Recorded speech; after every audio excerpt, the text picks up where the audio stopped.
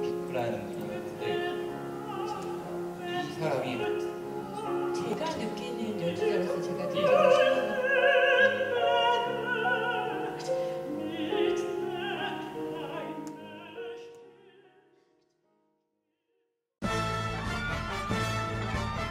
대한민국이 가장 사랑하는 뮤지컬 지킬앤 하이드.